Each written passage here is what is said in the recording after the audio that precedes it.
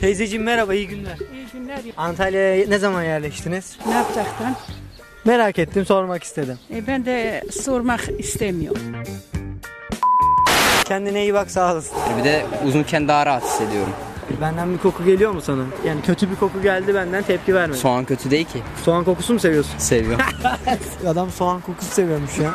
Yani dünyada iki kişi falandır herhalde birbirimiz olduk. Hadi gidelim. Benim canım çok güzel kokuyorsun. Soğan kokuyorsun şu an. Çok iğrenç. Benim en sevdiğim futbolcu Holosko. Senin sevdiğin futbolcu var mı? Bu yani ne için?